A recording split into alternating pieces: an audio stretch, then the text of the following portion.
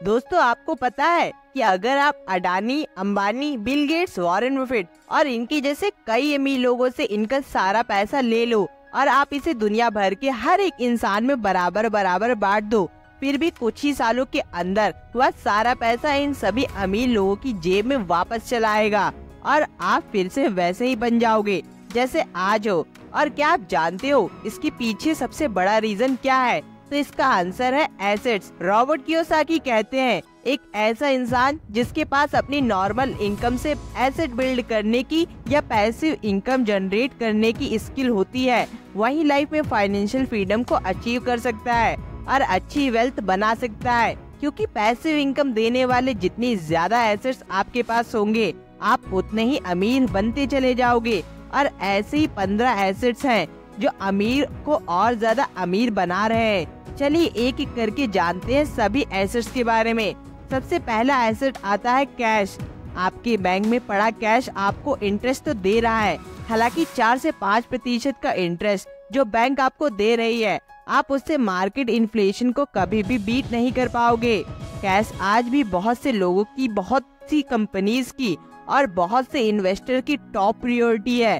अब आप इस आर्टिकल में देखिए रिलायंस कंपनी के पास दो दशमलव एक लाख करोड़ का कैश रिज़र्व है। सेम ऐसे टाटा ग्रुप भी हर साल सत्तर हज़ार करोड़ रुपए का कैश रिज़र्व करता है। सेम इसी तरह दुनिया के जाने माने इन्वेस्टर वॉरेन बफेट भी अपने पास बहुत सारा कैश रिज़र्व रखे हुए हैं। अब कैश रखने के पीछे इन अमीरों के दो ही रीजन होते हैं। पहला invest in the right opportunity at the right time अमीर लोगों का मानना होता है, दुनिया अपॉर्चुनिटी की खदान है। इसलिए जब भी आपके पास कोई अच्छी अपॉर्चुनिटी आए, तभी आपको उस अपॉर्चुनिटी का फ़ायदा तुरंत मिल सकता है। और दूसरा रीजन है to earn high interest cash होने से आपको राइट टाइम और बेस्ट प्राइस में डील तो मिल ही जाती है। साथ ही अमीर लोग अपने पास रखा हुआ पैसा हाई इंटरेस्ट रेट पर भी देते हैं, जिससे उन्हें ईयरली एक फिक्स्ड इनकम आती रहती है। इसलिए हमेशा इसके लिए रेडी रहना चाहिए। Now asset number two real estate अब रियल इस्टेट एक बड़ा एसेट है, जिसकी दो मेनली रीजन है। नंबर वन रेंट पेमेंट जैसे जैसे लोगों की पॉपुलेशन बढ़ रही है वैसे वैसे लोग अपने बिज़नेस को भी एक्सपेंड करते जा रहे हैं। अब घर सिर्फ़ लोग रहने के लिए ही रेंट आउट नहीं करते हैं, बल्कि स्टूडियो खोलने के लिए एजुकेशन सेंटर के लिए पीजी के लिए स्मॉल बिज़नेस खोलने तक के लिए इसे लेते हैं।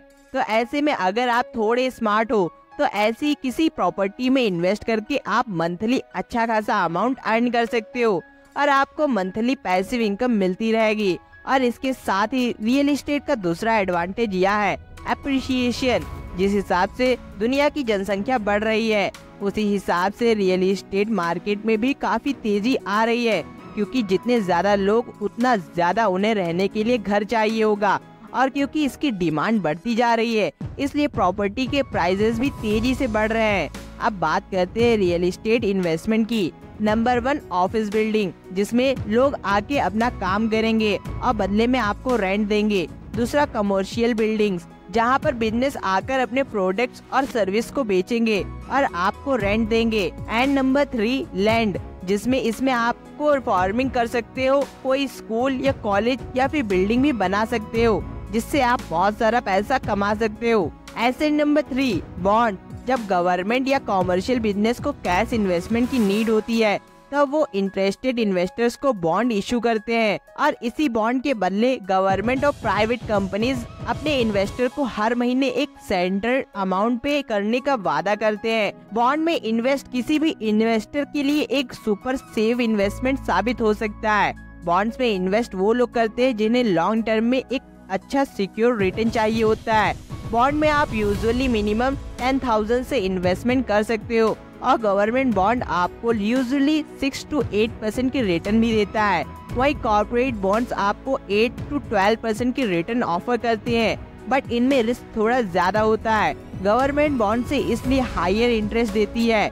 इसी के साथ कई सारे टैक्स सेविंग्स बॉन्ड्स भी होते हैं।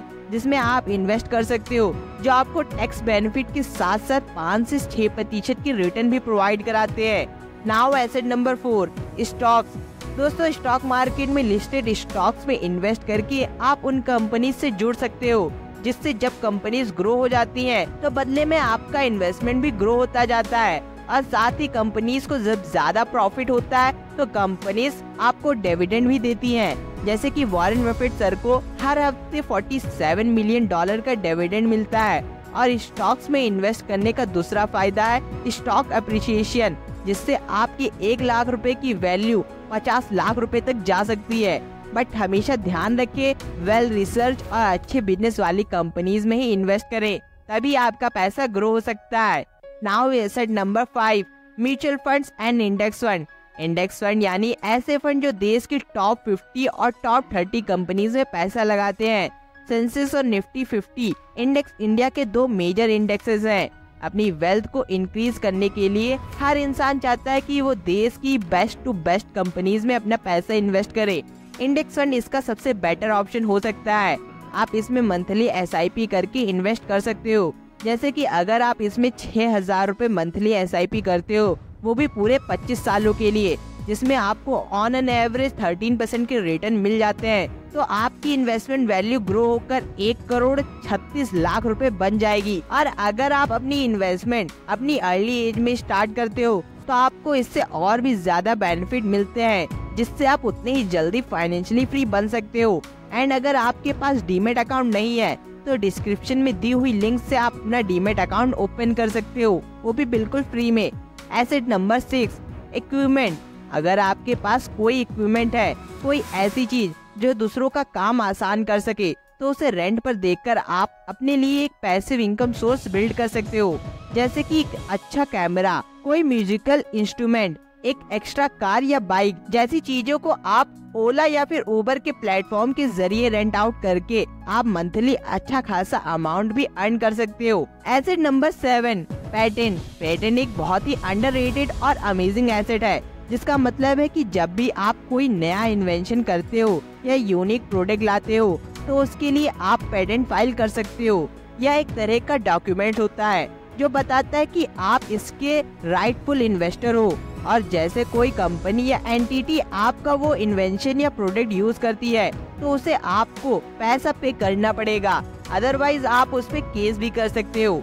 एसेट नंबर एट ट्रेडमार्क जैसे पेटेंट आपकी इन्वेंशन को प्रोटेक्ट करता है, ठीक उसी तरह ट्रेडमार्क आपके सिंबल्स वर्ड्स और पेजेस को प्रोटेक्ट करता है। आज की इस कम्पिटेटिंग बिज़नेस की दुनिया में स्कैम्स और फ्रॉड के चांसेस भी सेम रेट पे इंक्रीज हो रहे हैं। ऐसे में हमारे लिए बहुत ज़रूरी हो जाता है कि हमें अपने ब्रांड्स को, अपने लोगों को प्रोटेक्ट करके ट्रेडमार्क का सही यूज़ करना चाहिए। इसका बेस्ट एग्ज़ाम्पल है the taste of India Amul Amul ने यह क्रैच फ्रेश ट्रेडमार्क करवा रखा है। और इसी केज फ्रेश से अमूल ने काफ़ी फाइनेंशियल गेन भी हासिल किया। ठीक इसी तरह टाटा ग्रुप ने भी अपने लोगों का ट्रेडमार्क करवा रखा है। एसेट नंबर नाइन ब्रांड्स दोस्तों ब्रांड्स नाम इसलिए बनाया गया, जब कोई कस्टमर उसे कंज्यूम करे, उसे यूज़ करे तो उसके मन में एक इम्प्रेशन बन जाए। कि वह प्रीमियम चीज़ें यूज़ कर सकता है। ब्रांड एक तरह का एफर्ट है, जिसे कंपनी खूब सारा पैसा और टाइम देकर बिल्ड करती है। एक ब्रांड की वैल्यू कितनी ज़्यादा हो सकती है? आप इस बात से सोच सकते हो कि जारा और एमआरएफ जैसे ब्रांड्स की वजह से ही पूरी कंपनी को बहुत सारा प्रॉफिट हो जाता है। Now asset number ten people हम में से अक्सर लोग बिज़नेस अपने एम्प्लॉयज़ की और अपने आसपास के लोगों की वैल्यू नहीं समझ पाते। और उनकी कमी हमें तब महसूस होती है, जब वो चले जाते हैं। देखो, एक बात हमेशा याद रखना, या ब्रांड्स वैल्यू ये गुडविल ये सब बनते हैं कंपनी के नाम पे ही, और इससे फ़ायदा भी कंपनी को ही होता है। पर इसे बनाने वाला एक एम्प्लॉय होता है, जो पहले दिन से ब्रेन स्टार्मिंग करके फंड इकट्ठा करके टेस्ट रन करके, एक प्रोडक्ट को लॉन्च करता है। वो लोग ही होते हैं जो एक कंपनी को सक्सेसफुल बनाते हैं, जो किसी इंसान को सक्सेसफुल बनने में मदद करते हैं। आपको क्या लगता है कि एप्पल का इतना सक्सेसफुल होने का क्या कारण है? वो है उनके एम्प्लॉयज़ और उनकी टीम। कोई भी बड़ा सा बड़ा इंसान देख लो, उसने अपना अकेले बिज़नेस बिल्ड नहीं किया है। उसकी सक्सेस के पीछे रीजन है उसके आसपास के अच्छे लोग। Now asset number eleven, raw material and commodities. दोस्तों, अच्छी लाइफ स्टाइल जीने के लिए हमें पैसे ही नहीं, साथ ही साथ कमोडिटीज की भी ज़रूरत पड़ती है। और अमीर लोग इस बात को अच्छे से समझते हैं। इसलिए वह गोल्ड एल्यूमिनियम स्टील ऑयल जैसी कमोडिटीज में खूब हैवली पैसा इन्वेस्ट करते हैं। रॉबर्ट की खुद भी कमोडिटीज को ज़्यादा प्रेफर करते हैं। साथ ही जब भी स्टॉक मार्केट में गिरावट देखने को मिलती है, तब भी लोग खूब जमकर इन्वेस्ट करते हैं कमोडिटीज में, क्योंकि एक सेफ़ इन्वेस्टमेंट ऑप्शन होता है। Now asset number twelve digital asset. आजकल डिजिटल दुनिया का जमाना है। हर कोई अपने मोबाइल और कंप्यूटर स्क्रीन से चिपका रहता है। ऐसे में डिजिटल एसेट जैसे कि documents, audio book video digital courses songs and apps आपके लिए एक वैल्यूबल एसेट साबित हो सकते हैं। आज की डेट में इंफॉर्मेशन का ओवरलोड है। सबके पास काफ़ी रो डाटा और रॉ नॉलेज है। ऐसे में अगर आप कोई भी बुक लिखते हो या कोई ब्लॉग पोस्ट लिखते हो तो बस आपको राइट मार्केटिंग टूल ढूंढकर काम पे लग जाना है। मैक्सिमम ऑडियंस को रीच आउट करना है। और अगर एक भी प्रोडक्ट रन हो गया तो आपका ब्रांड नेम बिल्ड होने में टाइम नहीं लगेगा। एंड दोस्तों, इससे भी आप बहुत पैसा कमा सकते हो। सॉन्ग्स और कंटेंट के केस में यह चीज़ तो और ज़्यादा स्केलेबल है, जिससे हर दूसरा व्यक्ति यूट्यूब या अन्य सोशल मीडिया प्लेटफॉर्म से पैसा छाप रहा है। So you can also try but ध्यान रखें आप जो भी करें, वो यूनिक होना चाहिए।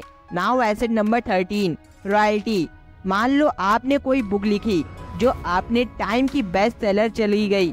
अब उस बुक के राइट्स को कोई भी मूवी स्टूडियो खरीदना चाहता है, ताकि वह उससे कोई अपना शो बना सके।